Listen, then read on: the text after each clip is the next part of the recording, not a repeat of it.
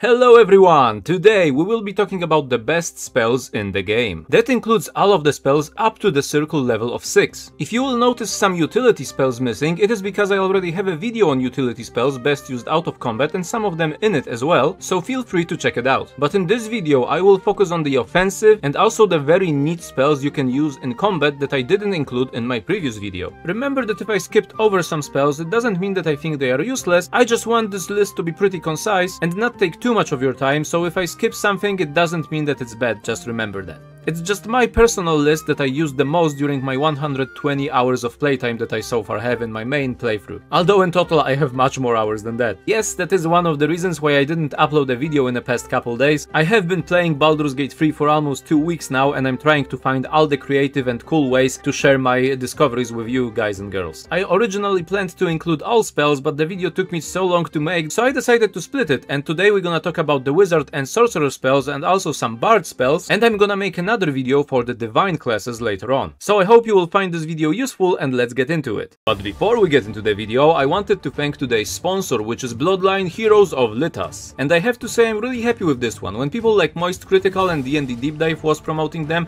I knew this is a good game to pick for my first sponsor. In Heroes of Lithas, you enter a dark fantasy RPG. You can create your own unique legendary champions by combining bloodlines like the elves, demons, demigods, orcs, dwarves, lycans, dragonborn, vampires, and even more. With its innovating Earth system and breathtaking visuals, Bloodline takes RPG and gacha gameplay to an entirely new level. You can actually mix and match races, marry them together and create a more powerful race, which you can then use to combat your foes. The game is completely free to play, you can start right away by simply downloading the game on Android or iOS and if you download the game using my QR code you will get a starter pack worth 20 bucks. I must say that the game is graphically stunning, providing a top tier visual experience on mobile phones and smartpads as well, so you can enjoy expanding your collection on whatever device you want. You can actually combine all those different heroes together by marrying them and creating an even more powerful bloodline. There is over a thousand possibilities of hybrids and endless things you can do to add to your lineups and matchmaking strategies. The hybrids inherit not only the talents and traits of their parents but also their unique appearances passed down from each family tree and fused into one. Bloodlines is also constantly getting updated and every two weeks new companions for each gender are getting added to the game. So the fun in creating new hybrids never ends. There is also even PvP in the game and all players can obtain uniquely designed hybrid champions called Bloodcraft Legends. There is also the aspect of building your own kingdom and expanding your economy with strategic gameplay. You can also follow the many interesting storylines played by real actors in beautifully rendered scenes. Also, the first 30 players who will leave their in-game account and username ID in the first pinned comment section below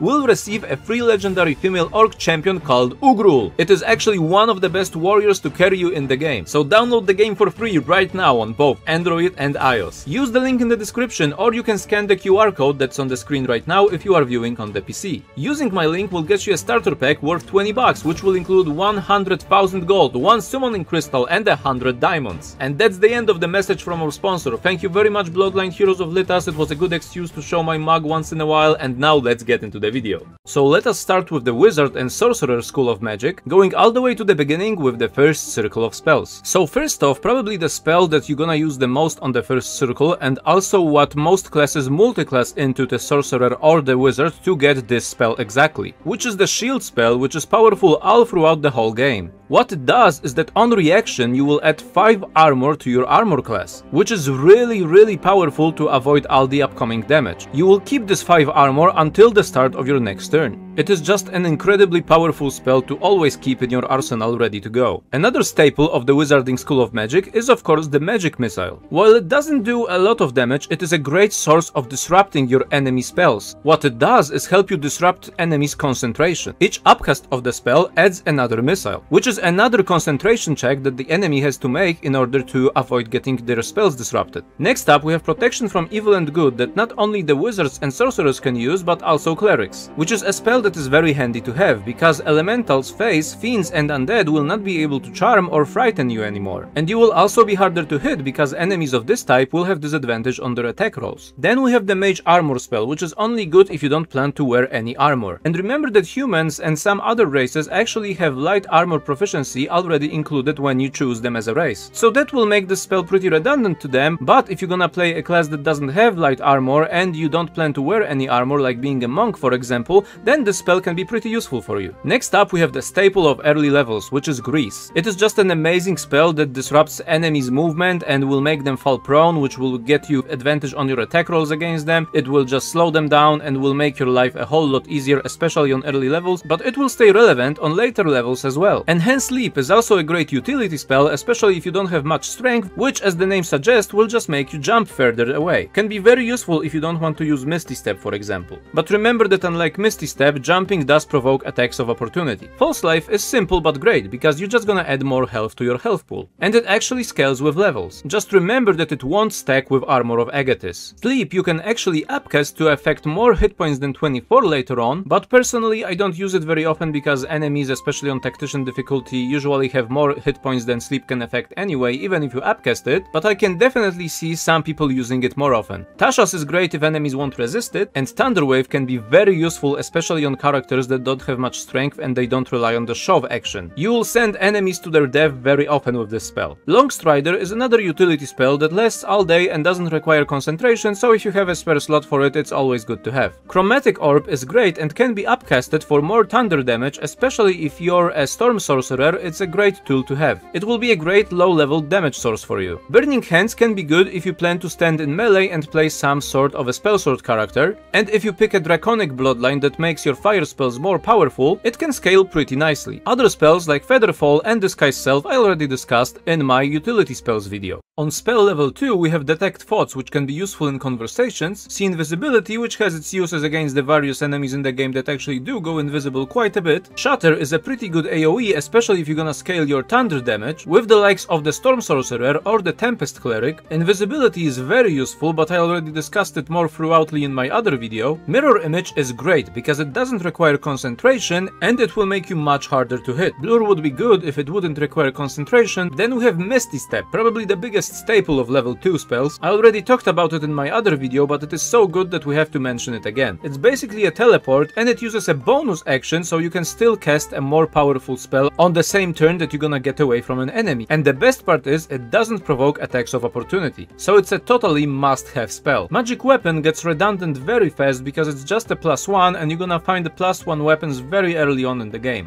and on top of that it requires concentration, so a completely useless spell in my opinion. Then we have Knock, which actually opens a lot of locks in the game, which means that for the most part you would not even need a sleight of hand character in your party in order to open most locks in the game. But still there are quite a bit of locks in the game that has a DC bigger than 30, and then you're gonna still need your rogue in the party. Or just someone that has a pretty beefed up sleight of hand ability. Still Knock is great especially on a wizard, if you have spell slots to spare. Hold Person is amazing when it lands as you're gonna have automatic criticals against the target that is held in place. Enlarge and Reduce have both in combat uses and out of combat uses because you're gonna be able to get into places that you normally wouldn't, especially if you're gonna make yourself smaller. But honestly, I prefer to use the Disguise Self spell for this because if you're gonna become a smaller race, you can get into most places as a gnome and stuff like that. So from what I learned, you don't really have to use your Enlarge Reduce on someone to make it for the utility part of the spell, and it's simply great when you want to beef up your weapon damage. Still, it is a concentration spell, so it's good to remember that. Dark Vision is of course useful if you don't have dark vision already from your race. Darkness I already talked about in my previous video. Now Cloud of Daggers is an amazing spell to control the battlefield. It does take concentration, but if you're gonna fight in some choke points, it is a continual damage on the enemy for up to 10 turns. Arcane Lock has some utility uses, and you can actually lock enemies behind some doors. I'm sure there will be some videos of using this spell creatively and locking enemies out of rooms sooner rather than later. Now spells level 3. Some of the most infamous spells lie in this circle which we're gonna go over through right now. First up, of course, we have to mention the Fireball, which no self-respecting wizard and especially sorcerer will leave their home without. It does great amount of damage especially when you unlock it on level 5, and you can end fights with well-placed fireball very fast, but in my opinion it is not the best spell in this circle at all. The spell that is actually the best in this circle in my opinion is Haste. It is probably the best buff in the game. In Baldur's Gate 3 it grants you an another whole action that you can use on your turn, meaning that that if you cast it on your fighters and other melee classes or even ranged, you will effectively double the attacks you can make per round, similar to Action Surge, but it actually lasts whole 10 turns. Then you're gonna become lethargic and be stunned for one round, but it is well worth the cost.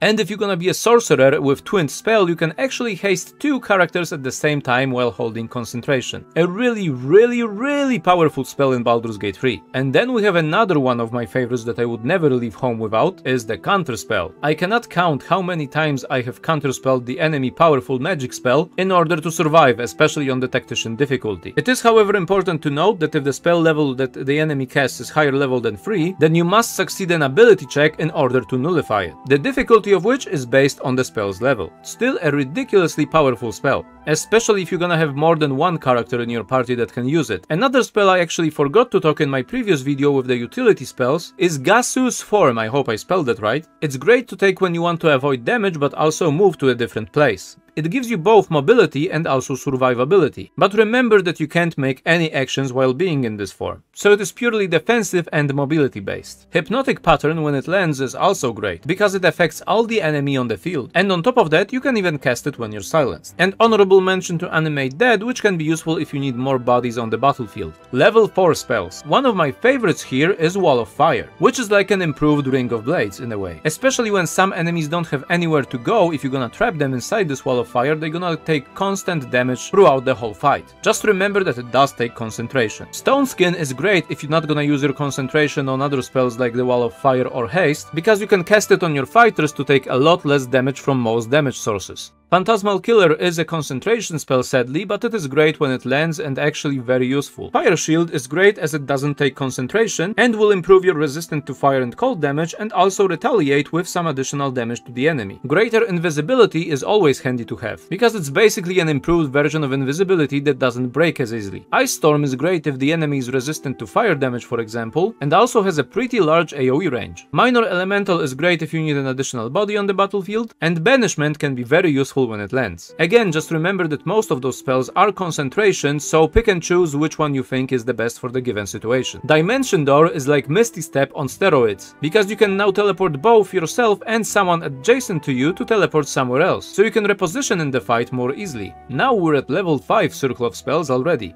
And here we have such great spells as Telekinesis, which some of you might remember a similar spell from Divinity Original Sin 2. You can throw a creature or an object up to 18 meters away. You can probably guess for yourself how creative you can get with this spell, and it has a lot of uses both for objects and creatures you can throw around. Conjure Elemental is well an even better version of the Conjure Minor Elemental, just a more beefy dude that you can summon and they will follow you until they die or until you rest. Cloud Kill can be very powerful, as poison is a very nasty status just remember that undeads and some other creatures will be resistant to it. Cone of Cold speaks for itself if you like the cone type of spells and you don't want to rely on fire spells, it is a lot of damage you can do with this spell. Dominate Person and Hold Monster again are great when they land, but because they are concentration spells I usually focus on haste and other stuff than using the holding spells of this kind, but they can still be very useful if you're gonna focus your build on those. And Wall of Stone is a great utility spell if you want to block off some enemies. And then finally, when you reach character level 11 you will unlock the last circle of spells in Baldur's Gate 3. Here some of my favorites include Chain Lightning, which is just a massive damage spell that bounces into others. If you decide to be a Storm Sorcerer or dip into the Tempest Cleric, this spell can annihilate a lot of enemies. And while talking about destruction, let's talk about Disintegrate, which does even more singular damage to an enemy when it lands. Just remember that if you disintegrate your enemy, it will actually turn into dust, and the gear that they had on themselves will actually turn to ash as well. So personally, I don't use it too much because I don't want to miss out on potential good loot of the bosses and stuff like that. But if you want to use it on something that you know doesn't contain much important loot, then be my guest and disintegrate some fools. Eyebite can be really good because you can recast it every turn, without spending a spell slot, so it can be the best bang for your buck from level 6. You can put creatures to sleep with this spell, and also inflict sickness and dread. Very good pick if you want a spell that you can recast from level 6. Flesh to Stone I personally didn't use much. Globe of Invulnerability can be very useful if you need to be immune for a while and don't want others to hit you. It's a great spell to recoup during combat. Arcane Gate I actually must admit I didn't test yet, so feel free to tell me how good it is and if you found good uses for it. And the last spell that I like a lot is Sunbeam. It can not only blind targets and do some respectable damage, you can also recast it every turn without spending a spell slot. And if the enemy saves, they will still take half damage. Now let's talk about the Bard spells, while skipping the obvious healing spells, and also some utility spells that I already explained in my previous video. First up, we got Heroism, which requires concentration but can be pretty useful early on and it also prevents you from being frightened, while giving you some additional hit points. Faerie Fire is very useful to reveal the obscured enemies and you will also get advantage on attack rolls against those targets affected by this spell. Level 2 has the Enhance Ability spell, which can be very useful especially out of combat to help with the skill checks. Heat Metal can be good against enemies that hold weapons in their hand, and Crown of Madness is very useful when it hits. On level 3 the only noticeable spell different from the wizard spell list is Speak with Dead, but you will already gain access to this kind of spell from various other sources in the game so I wouldn't recommend wasting a spell slot on this spell. Actually, I should mention Feign Death as well, which can be very useful. If you need a break during combat and you don't want the enemy to hit you, it's a decent spell to recuperate. On Circle level 4, we get Freedom of Movement, which is a great spell if you don't have this effect from an item or from your class, because some classes like the Monks or Rangers can get it by default on later levels. But other than that, a very useful spell to have and it doesn't require concentration and it will last for an entire day. On Circle level 5 you get the very useful Greater Restoration, which is a great spell to have as a bard. Mass Cure Wounds, especially if you're gonna put some healing items on your bard, can be pretty useful in a pinch to heal your party. Seeming can be pretty useful if you want to disguise your entire party, and the most uses I got out of it is when you need your entire party to be of the smaller race in order to fit through some holes that you normally wouldn't be able to get to. On level 10 as a bard, you actually get to pick from a whole plethora of different spellcasting classes to add to your repertoire.